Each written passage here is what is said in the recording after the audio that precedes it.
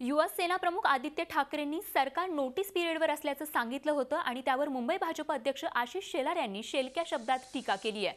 आदित्य ठाकरेंना अननोटीस केल्याचं त्यांनी सांगितलंय. तर रात्रीचा बाजार रूफटॉप पार्टी केवळ हे विषयच त्यांना माहीत असल्याचीही टीका त्यांनी केली आहे.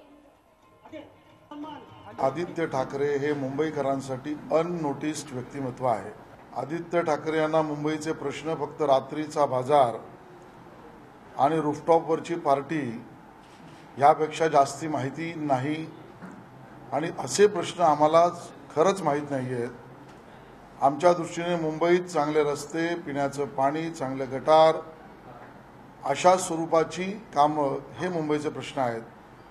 त्यामुळे रूफटॉपवरची पार्टी आणि रात्रीचा बाजारातला नाच हे आदित्य ठाकरेंचा परिचय आहे. झी चोवीस तास. रहा एक पाऊल पुढे.